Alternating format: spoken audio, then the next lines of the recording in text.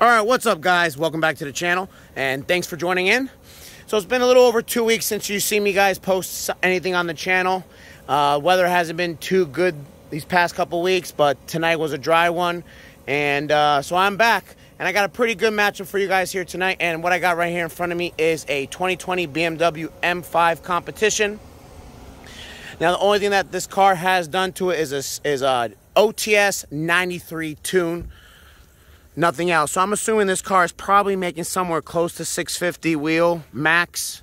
Maybe it could be a little bit more, but it's gonna be somewhere around that range. You know, these cars weigh somewhere around uh, 43, almost 4,300 pounds.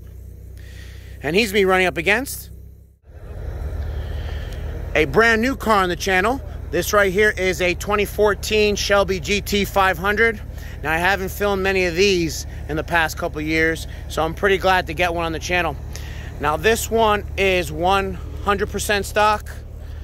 These uh, these are rated from the factory around 660 horsepower at the crank, and if I'm not mistaken, I think they make like right around 600 or 600 horsepower to the wheels.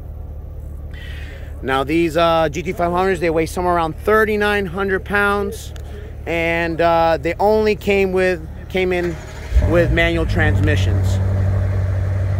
So this car is making a little bit less horsepower than the M5, but it is a few hundred pounds lighter. So I think this should make for a good matchup. Now the M, the the Shelby did remove his back seats for a little bit of weight, but nothing, not a whole lot. So these two cars are only going to be doing a 60 roll, and both cars be driving solo. So let's see how it goes.